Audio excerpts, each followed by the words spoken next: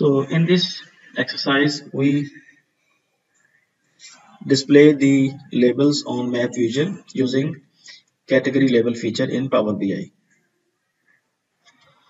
So uh, for this, uh, open the uh, open the data using this import op and open the Excel sheet.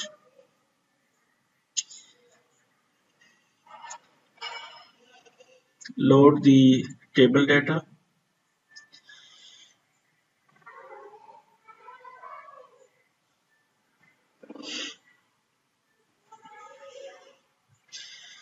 After importing the data successfully, you can see here is latitude, longitude and other features, other data.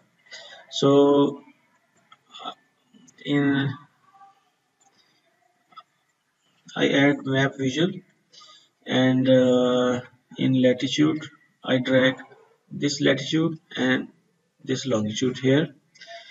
So you can see the points of uh, health facilities appear. So uh, I want to categorize the category label. When I so uh, in second tab format your visual.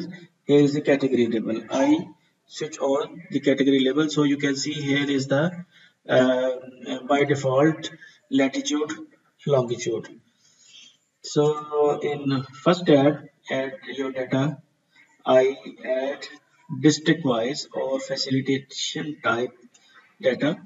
Uh, so when I drag it to the location the a small error appear because this error is uh, show that we can uh, aggregate or change the uh, type of this latitude. So uh, in latitude longitude both we uh, we can uh, change this uh, uh, to average and this one to average. So you can see the labels of the district along with the latitude longitude appear on the map visual